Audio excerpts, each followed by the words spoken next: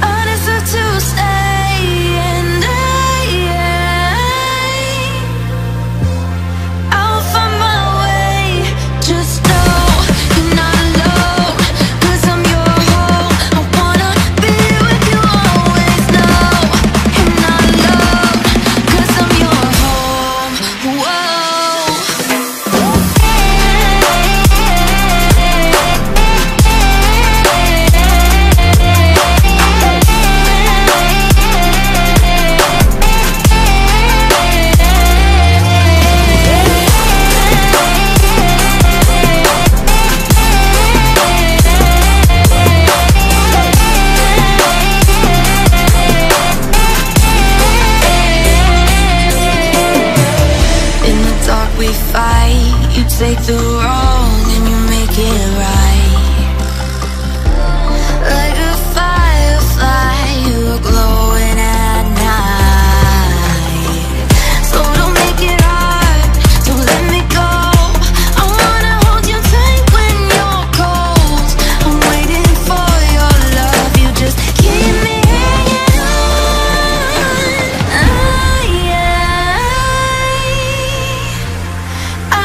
to say